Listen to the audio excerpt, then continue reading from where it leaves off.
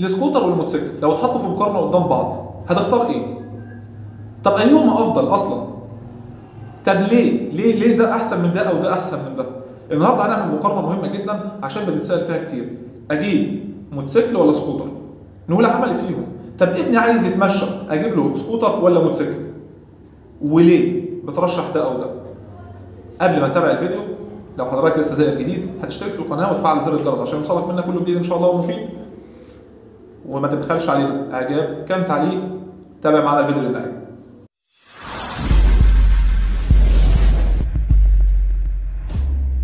السلام عليكم ورحمة الله وبركاته. أخوكم محمد سيد. النهارده إن شاء الله هنقارن مقارنة سريعة ومفيدة جدا.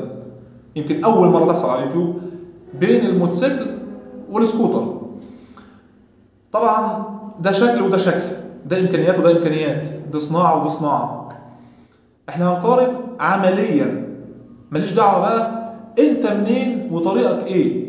ده يمشي مكان ده وده يمشي مكان ده. مفيش حاجة اسمها إن ابن مثلا المدينة يركب سكوتر ابن الارياف يركب موتوسيكل. اللي هيمشي في شغل حارات هيركب سكوتر اللي هيمشي في شغل مش عارف إيه هيركب موتوسيكل. لا إحنا هنقارن مقارنة عملية جوهرية. أول حاجة قطع الغيار. طيب قطع الغيار ديت ليها شوية أسباب شوية مقارنات قطع الغيار أيهما أوفر؟ المتوفر في السوق قطع غيار السكوتر ولا الموتوسيكل؟ الموتوسيكل طبعا. في الحالة دي الموتوسيكل هيكسب. طبعا أنا بدور على حاجة قطع غيارها يعني معلش ال- السكوتر أو الموتوسيكل المعدة اللي أنا راكبها أو العربية أو أي حاجة معرضة تتخبط في أي وقت. أو تاخد مني عطل في أي وقت. طب أنا محتاج قطع غيار متوفرة في أي مكان ما ألفش وأدوخ عليها. إذا الموتوسيكل هيكسب في دي. طب أسعار قطع الغيار أسعار قطع الغيار الموتوسيكل ولا السكوتر؟ الموتوسيكل برضه. أنا بتهيالي قطع غيار الموتوسيكل الصيني أوفر قطع غيار في أي مركبة بتركب أي حاجة. بموتور ببنزين هو الموتوسيكل. إذا برضه سعر قطع الغيار هيظبط معايا. ما أنا معلش أنا مش عايز أفتح بيت جنب بيتي. أنا غالبا أغلب اللي بيشتري موتوسيكل أو سكوتر عشان إيه؟ ياكل عليه عيش. هيوصل عليه اوردرات هيشتغل دليفري هيشتغل هو لقمة عيشه. أو هيوصل هيبقى بدل المواصلات أو بدل العربية. ما هو معلش برضه الموتوسيكل النهارده أفضل من العربيات 100 مرة. أنا اللي يخليني حتى لو وزير أنا آسف يعني لو أنا وزير أو رئيس جمهورية وهمشي من مكان لمكان في زحمة المنصورة أو القاهرة أو المدن الجديدة كلها أنا إيه اللي يخليني أركب عربية؟ اركب عربية. واقف على كوبري أو اقف في إشارة مرور أو اقف. طب ما أنا ليه؟ طب ما أنا مع الموتوسيكل وفي ثانية بوصل طريقي. يعني المشوار بالموتوسيكل 10 دقائق لا بالعربية ممكن يبقى نص ساعة. ساعة حسب الطريق. يبقى أنا محتاج قطع غيار متوفرة وسعرها رخيص. ثم هنخش الصنعة نفسها.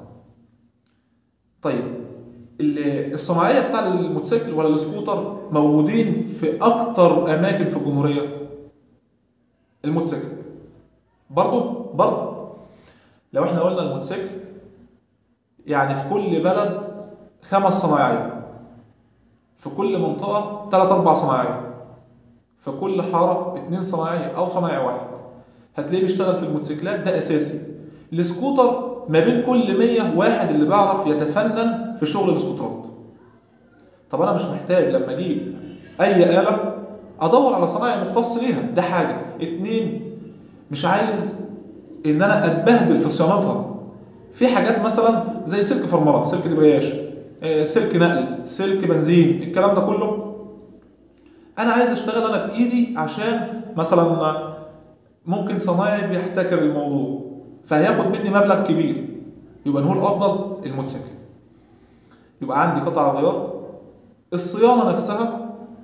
طب الاستخدام أيهما امن في الحالة دي أنا ممكن أقول الامن السكوتر لأن السكوتر حضرتك أنت قاعد جوه جوه المركبة نفسها جوه السكوتر رجلك قدام الكرسي فأنت السكوتر محاوط جسم الإنسان. فلا قدر الله لو نام على جنبه السكوتر هو اللي بيتجرح الإنسان سليم. الموتوسيكل. لا الموتوسيكل انت اللي محاوط التانك والموتوسيكل برجليك الاثنين ولكن برضه نفس الموضوع إحنا ممكن نعمل يعني موضوع الحماية ده. تمام؟ يبقى في نفس الوقت هو السكوتر يمكن تعادل مع الموتوسيكل في موضوع الأمان. أو سبقه بشرطة كده. استهلاك البنزين الموتوسيكل أوفر. يا الموتوسيكل أوفر من السكوتر؟ طبعا. حتى التحكم في السرعة ده ده دليل يعني سبيل لتوفير الوقود. التحكم في الموتوسيكل أحسن لأن السكوتر تزويد. أنت بتزود تسحب بنزين بتمشي. على أي سرعة بتسحب بنزين. لكن الموتوسيكل أنت تقدر تتحكم في السرعة بتاعته وفي استهلاك الوقود بسبب النقلات والغيارات. يبقى أنا عندي سرعة واستهلاك البنزين. هتقول لي طب أيهما أطول عمرا؟ أقول لك طول العمر ده بقى ملهاش دعوة بالمقارنة خالص. طول العمر حسب الاستخدام. انت ما بتعرفش تسوق أو لسه بتتعلم أو بتمشي تطقش في الناس أو بتمشي تطقش في الحيطان سواء راكب موتوسيكل أو آه سكوتر هيتهلك منك بسرعة. طب انت بتمشي يعني مثلا ما, ما بتتبعش الكلام المصنع في الكتالوج بتاعه. ايا كان موتوسيكل أو سكوتر ياباني أو صيني هيتهلك منك بسرعة. ليه؟ عشان أنت مش متبع إرشادات السواقة أو القيادة الآمنة. فموضوع عمر المركبة سواء عربية أو طيارة موتوسيكل أو سكوتر ده حسب استخدام السائق نفسه حسب الحمولة حسب غيار الزيت استخدام الوقود الصيانه الدورية. كل ده بيتحكم في طول أو قصر عمر المركبة اللي أنت راكبها. هتقول لي بس السكوتر شكله هقول لك أنا أنا معلش أنا آسف السكوتر ده أنا يعني إيه بعتبره يعني هو بتاع بنات شوية. يعني أو مثلا واحد هيجيب سكوتر لطالب مش هيشتغل ده مش بتاع شغل ده واحد طالب وهيمشي بيه يا دوب دلع كده أو عنده عربية والسكوتر ده هينقله من مكان لمكان وبرضه نفس الموضوع اللي هيجيب السكوتر ده هيكون متريش شويتين متريش شويتين ليه؟ اولا استهلاك الوقود الصيانة الدورية اللي لازم هيعملها عشان يضمن إن قطع الغيار الأصلية بتاعه السكوتر تعيش معاه الأماكن الصيانة مراكز الصيانة لأن أنت هتصين في مراكز صيانه لأن أغلب الميكانيكية. يعني مش عايز أقول 99% منهم صيني بس.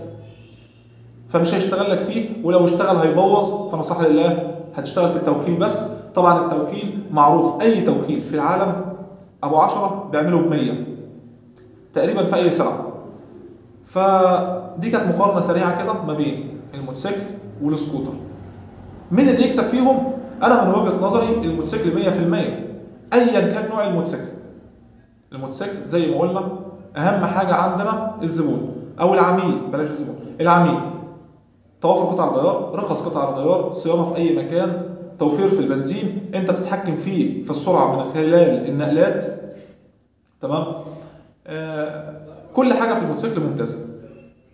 حتى في الشغل ممكن تشيل وراك اثنين وثلاثه وأربعة تحط شنطة لكن السكوتر السكوتر هو ميزته حاجة واحدة في موضوع الشيل والكلام ده إن تحت الكرسي مساحة فارغة أنت ممكن تحط فيه حاجة. طبعا تانك الموتوسيكل فيه تنكات كبيرة غير السكوتر خالص. السكوتر ممكن البنزين بتاعه ما يمشيش 80 نهائي من 90 لكن في عندنا موتوسيكلات اللي هو الصيني تمشي كلها 80 لكن إحنا بيفضل ال 90 فدي كانت مقارنة سريعة وجميلة. وعملية وهندسية ما بين السكوتر والموتوسيكل. إيه اللي يكسب؟ الموتوسيكل 100% لكن أنت حر في النهاية. عايز تجيب سكوتر لازم يكون عندك إمكانيات. بس كده. السلام عليكم ورحمة الله.